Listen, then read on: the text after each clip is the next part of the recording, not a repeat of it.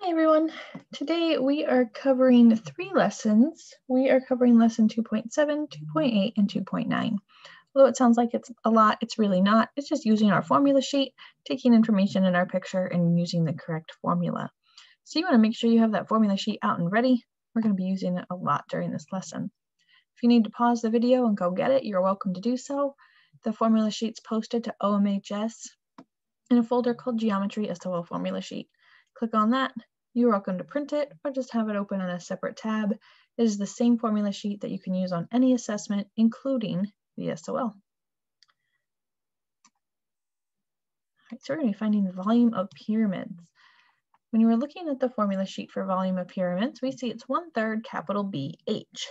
Capital B stands for the area of the base, and H stands for the height. The base is not always going to be the same shape. Sometimes it might be a rectangle or a square. Sometimes it could be a triangle or some other shape. So just know that a pyramid, what it is, is it's a base of any polygon shape with triangular sides that meet at a point here at the top. So the base doesn't have to be necessarily a rectangle. It could be any polygon as long as it has triangular sides. Okay, so let's find the area of this base. Well, the base here it is. Oh, that's a rectangle. So when we look at our formula sheet, we see we're going to multiply 10 and 11 together to get the area of the base. And I'm going to keep calling it capital B, so I know that this means area of base. So the area of this base is 110. The height of a pyramid will always go from the tippy top of the pyramid and be perpendicular to the base. So the height of this pyramid is 16. So using the volume formula, that's one third times the base, area of the base times the height. Use our calculator, one third times 110 times 16, we get 586.67. Now, because we are finding volume, that means our units are cubed. So our units are cubic inches or inches cubed. I want you to use that same idea and try number two. Go ahead and do that now. So you should have gotten 315 cubic yards or yards cubed, same thing. The area of that base is 21 times 9 of 189. The height of my pyramid is 5. So when I plug those numbers into the formula for volume of a pyramid, you get 315 yards. If, or yards cubed. If you didn't get 315, just go ahead and double check. Did you calculate these right? Maybe you hit a button wrong on the calculator. That tends to be one of the biggest problems with problems like this. The students just accidentally push the wrong button on the calculator. So if you didn't get 315, double check those calculations. Now, sometimes they're going to be tricky to us and they're not going to give us the height. Maybe they'll give us the slant height instead.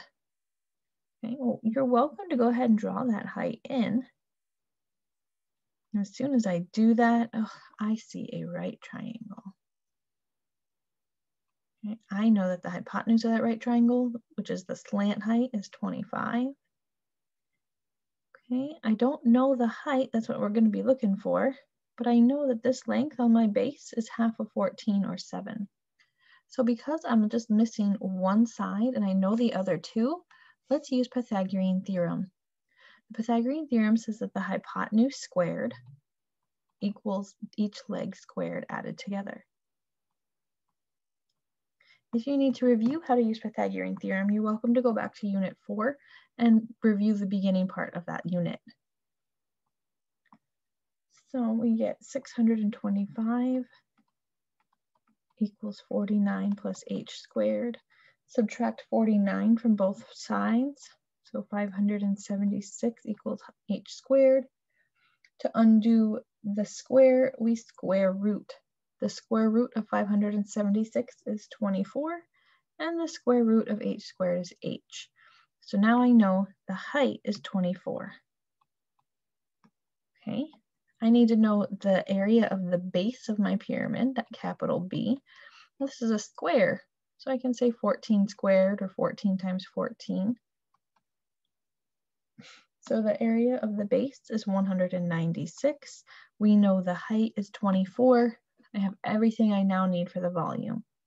The volume will be one third times 196 times 24. Type all of that into our calculator and we get 1,568. Our units will be feet cubed. And there's our answer. So if they don't give you the height, they give you a slant height, you can draw in your height and use what you know to find it. Most likely it would be Pythagorean theorem. Okay, here's some examples where our pyramids don't have quadrilateral bases, but they have triangular bases. They are still pyramids because they have triangular sides. Their bases are triangles also. So let's find the volume. The volume is one third capital BH. So capital B will be the area of that triangular base. Okay, well, the area of a triangle is 1 half base times height. So that'll be 12 times 7.5.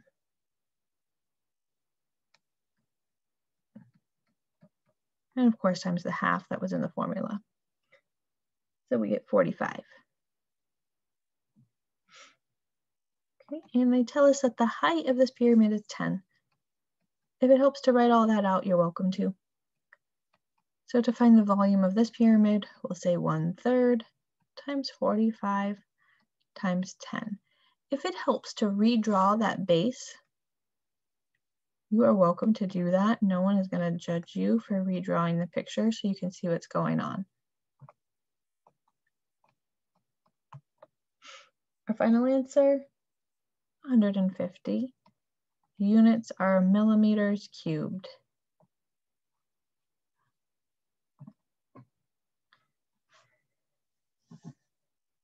All right, go ahead, go ahead and try number five. If you need to redraw that base, go ahead and redraw it. Try that now.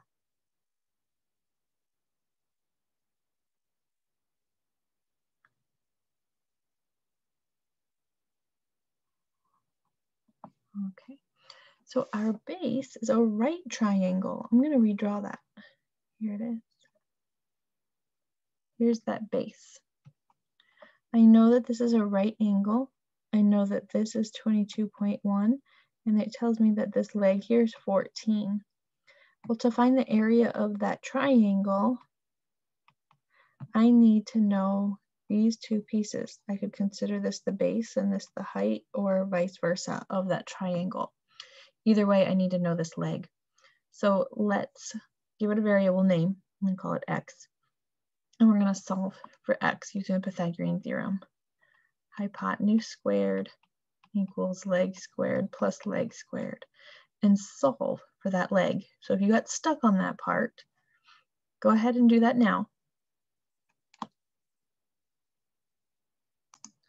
So that missing base or height, however you're looking at it, is a 17.1. So to find the area of this triangle, it's going to be 1 half times 14 times 17.1. So the area of the base is about 119.7. They told us the height of this pyramid was 19. So Now I have everything I need to find the volume. 1 third times 119.7 times 19. So the volume of this pyramid is 758.1. Our units, meters cubed.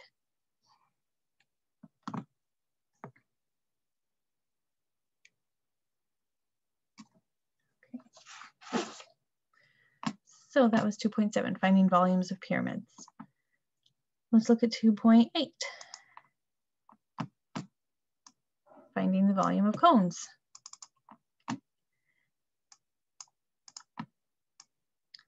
Okay, so we have a formula for the volume of a cone. It says it's one third pi r squared h.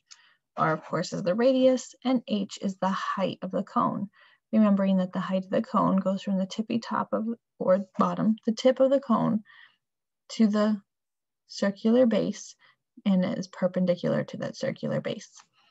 So in this first one, The radius is 9 and my height is 17.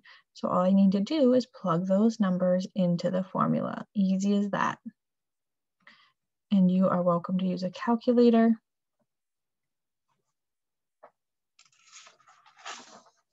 If it was asking me for an exact answer, I would multiply the numbers and just leave pi in my answer. So for example, I would type one third times 9 squared times 17 in my calculator and get 459.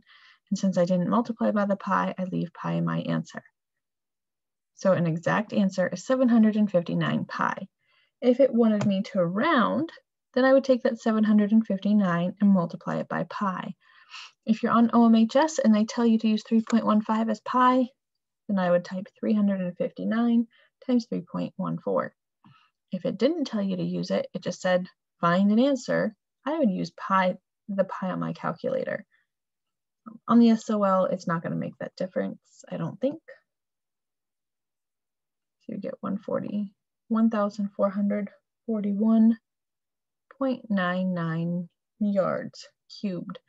If you're taking an assessment for this course and you use the pi symbol and they wanted you to use 3.14 and it tells you you're wrong, just send me an email I'll go in and look at it and most likely give you the points for it.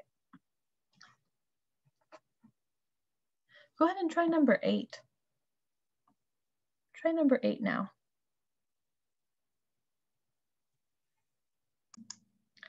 All right, if you got an exact answer, you may have put 50 thirds pi. If you rounded your answer, you should get about 52.36. Your units will be inches cubed. Let's look at number nine. In number nine, they do not tell us the height. So we're gonna have to calculate that height. I'm gonna draw it in, and when I do that, I see a right triangle.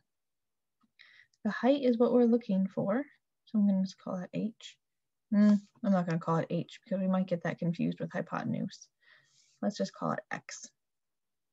The hypotenuse of that right triangle is 22.5, and the base of that right triangle, well, it'll be half of 27.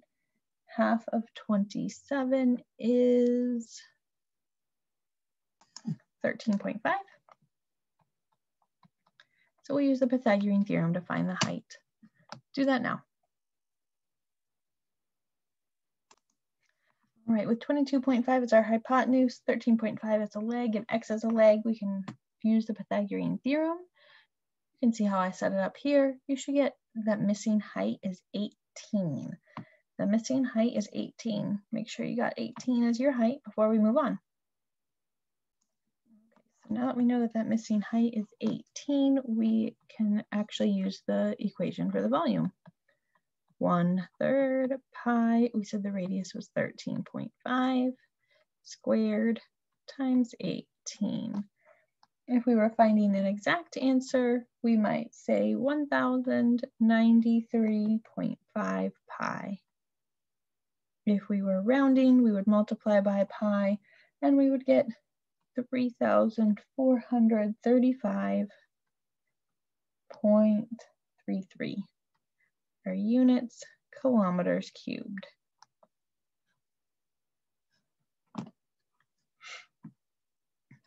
All right, let's see. How about some applications of this stuff? Let's say a cone has a volume of 1,309 centimeters cubed.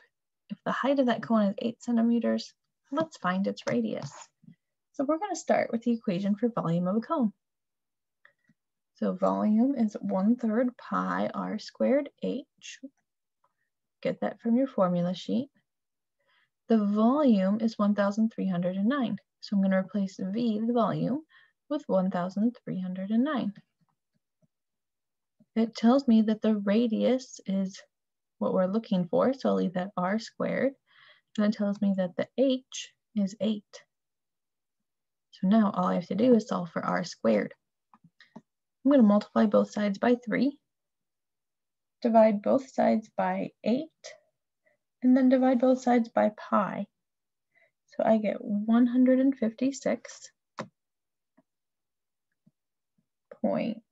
156.25 equals r squared. For the last step, I just need to get rid of that square. So I'm going to take the square root of both sides. The radius is 12.5 centimeters.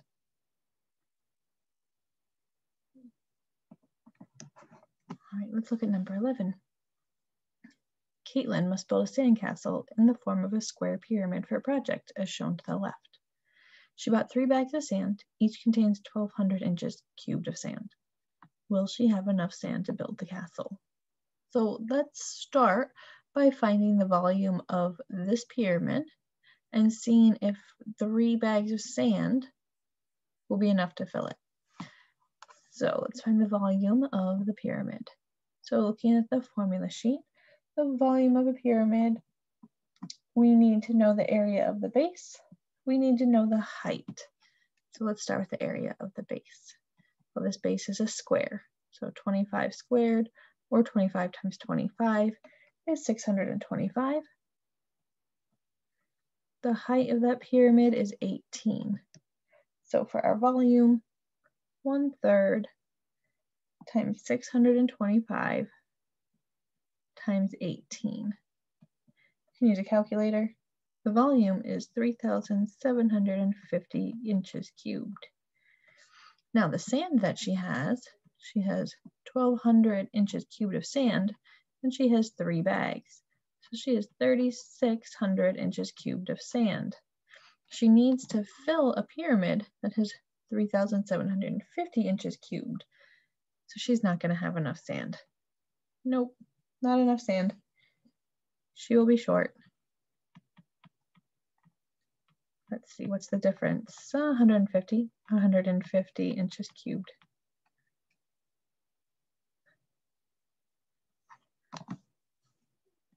Let's look at the cylinder. This cylinder has two congruent hollow cones. Okay, so what, what we're doing is we're taking this cone, we're just kind of pulling it out of the center and leaving what's behind. The cylinder's height is 20 inches, I'm gonna go up with that picture, height is 20 inches and its diameter is 14, find the volume of the solid. So I'm gonna find the volume of the cylinder first, then I'm gonna find the volume of the cone, and then my total volume the total volume is going to be the cylinder minus two cones, one cone minus another cone. Since that'll give me my final answer.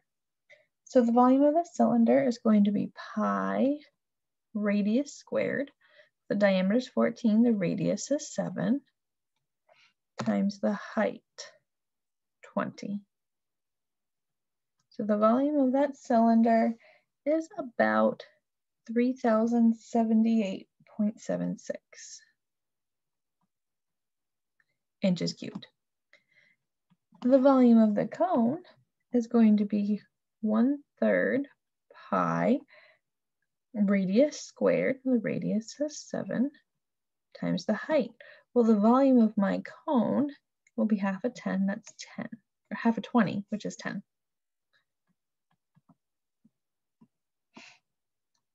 So I'm actually going to multiply this whole thing by two, and that'll give me the volume of both cones together. So that's 1026.25.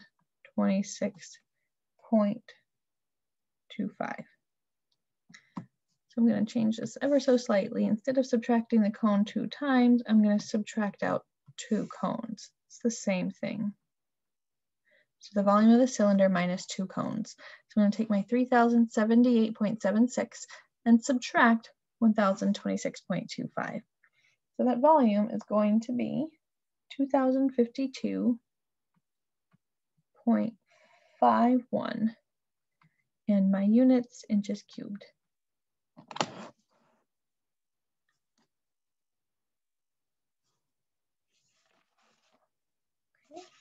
So now all we have to do now is talk about the volume and surface area of spheres. So we're looking at 2.9.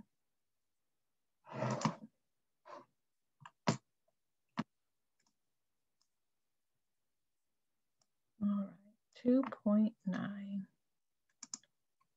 Still using that formula sheet, we're going to look at the sphere this time. We need to know the parts of a sphere. A sphere has a diameter, just like a circle. The diameter cuts that sphere in half.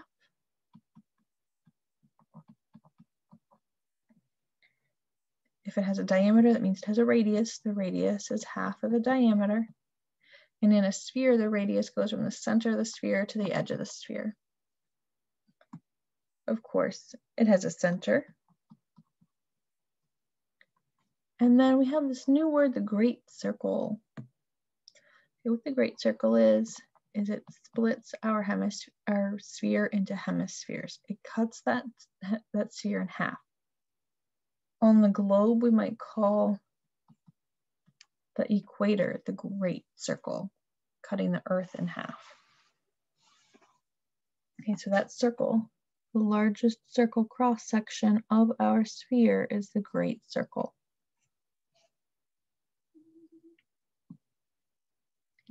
Let's practice finding the volume of a sphere. Here's our equation for volume, 4 thirds pi r cubed. So the volume of this will be 4 thirds times pi times 7 cubed.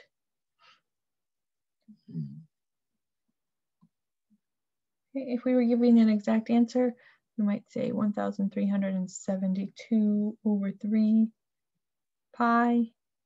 That's kind of ugly. Approximately, that's 1,436.76. We're finding volume, which means our units are cubed. Go ahead and try number two. Find the volume of that sphere. You should get 18,816.57. Your units are centimeters cubed. Let's look at number three. Number three is slightly different because we're going to find the surface area this time. So all that means is we're fine using a different formula. So the surface area will be 4 pi times the radius squared. The radius of the sphere is 2.8. Use a calculator, we get about 98.52. And because it's an area, our units are squared. If I were to unwrap this sphere and lay it all out flat and calculate how much space that takes up on the flat surface, that would be the surface area. Now, to find the volume of the hemisphere, you have two choices. You can use this formula, which I'm perfectly fine with you using.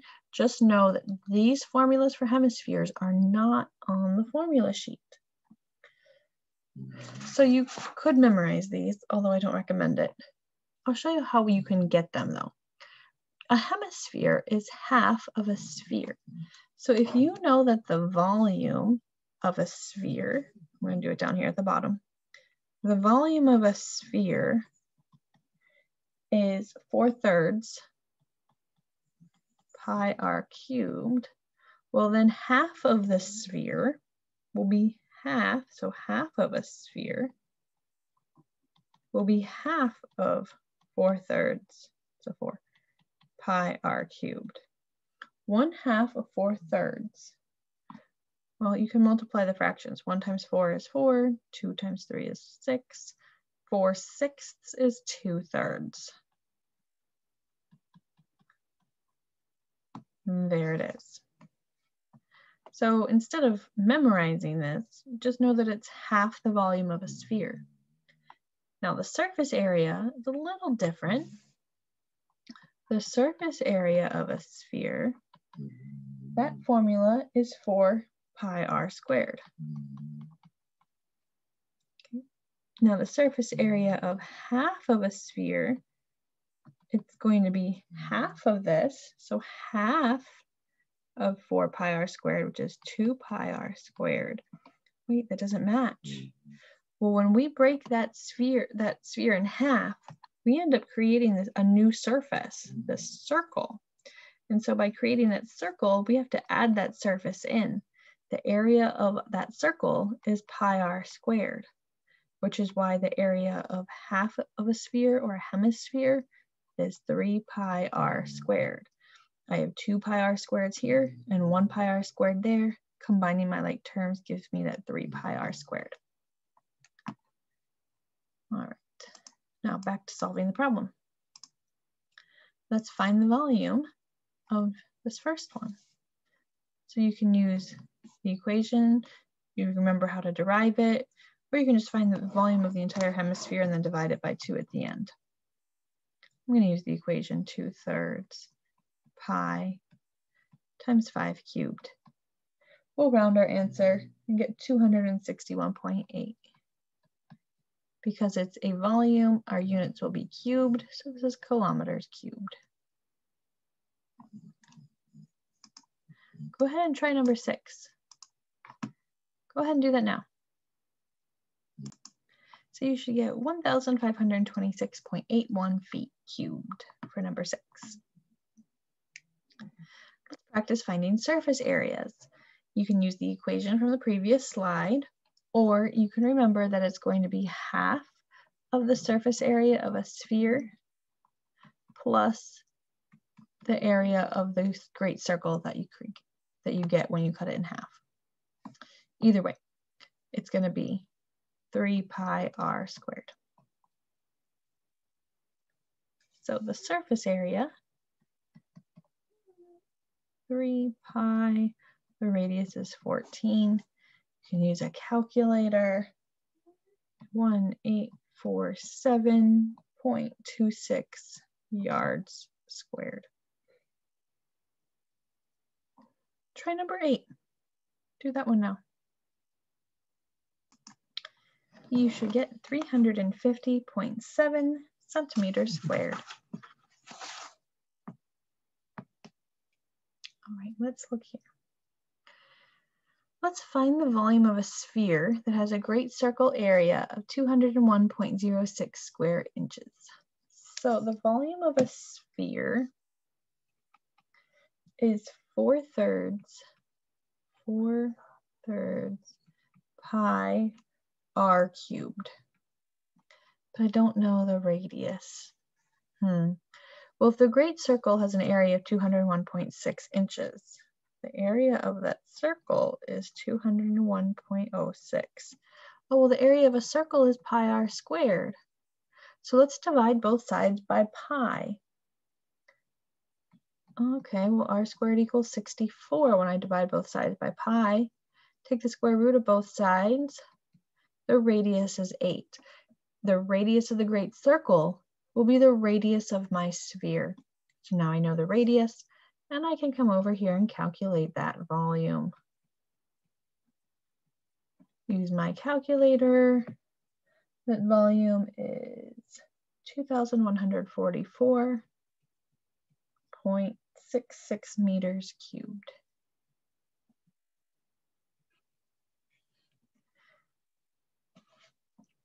Let's find the surface area of the figure here to the left. So what I'm looking at here is a cone. And its base is not a surface since it's touching that semicircle. So we're going to find the volume or the surface area of the cone, but we're going to have to subtract this area of this circle since that's not actually on the surface. Okay, so volume of the first will be the volume of a cone, 2 thirds pi r, 2 thirds pi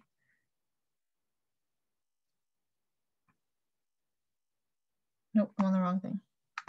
I'm looking at the wrong page. Forgive me. Let's try that again.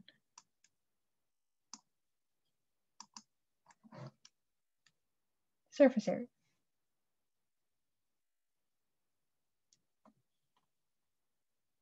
Pi times radius squared. Oh, the radius is 4.5, so let's go ahead and actually write that in.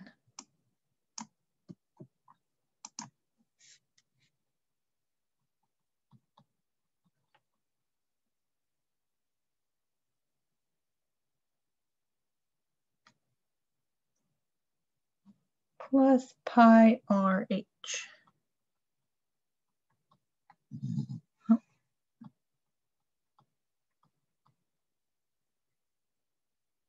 Wait a minute, we don't know the H. Oh no. Oh, but we can figure it out. the height will be the height of that right triangle. 4.5. Let's go ahead and use Pythagorean theorem to find the height. Go ahead and do that now. So you should get the height of that cone is 11. And when we're looking at the volume of a cone, we have pi r squared plus pi r h. So we get 20.25 pi plus 58.5 pi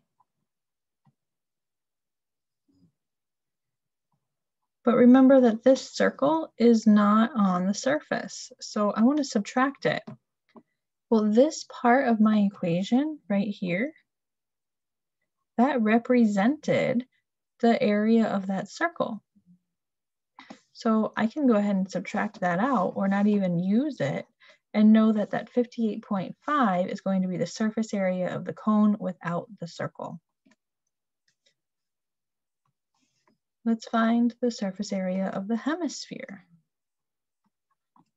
Okay, so we're going to say surface area of a hemisphere. When we do that though, we don't want that great circle again. So when we find the area of the, of the hemis the surface area of the hemisphere, we're also going to have to subtract out that great circle one more time. So go ahead and find the vol I don't know why I'm saying V here. These should be a surface areas. Go ahead and find the surface area of the hemisphere. Do that now. So the surface area of that hemisphere is 60.75 pi. Now, I don't want that great circle, so I could subtract out pi r squared. Or I could just recognize that when I take away a pi r squared from the hemisphere, I just get 2 pi r squared. So the surface area is 40.5 pi. So both times I had to subtract out the area of the great circle. I had to subtract out the area of the great circle from the cone when I calculated the surface area of the cone, and I had to subtract it out when I calculated the surface area of the hemisphere. Because separately, the cone has its slanty part and the circle part as a surface. And separately, that hemisphere has the half a sphere plus that great circle as a surface. But when I put them together and those circles now are touching each other, they're no longer a surface because they're inside of that composite shape. So I have to get rid of those areas because that great circle is no longer an actual surface because it's inside. Your total surface area is 311.02 meters squared. If that confuses you, putting those two shapes together, do me a favor and reach out to me and we can have a conversation about what it looks like. I can get out some cones and some hemispheres and put it together for you and we can have a conversation about that. I wanna make sure that you understand this and that this is clear. So if that explanation, if you need further explanation, please do not hesitate to reach out and talk to me about it. I'm happy to help.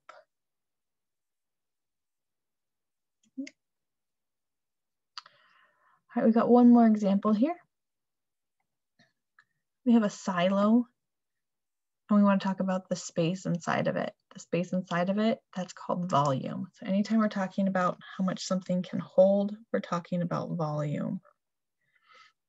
Now the volume is not going to be affected by this great circle.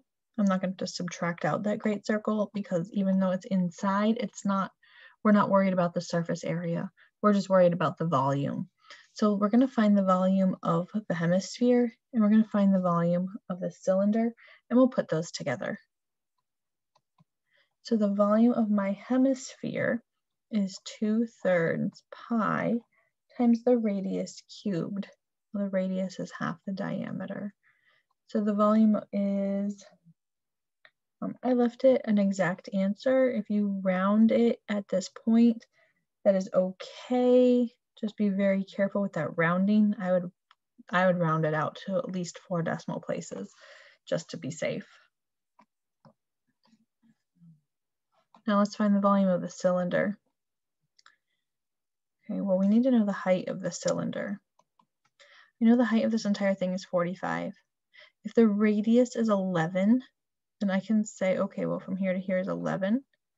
That means the height of my cylinder is going to be 45 minus 11 or 34.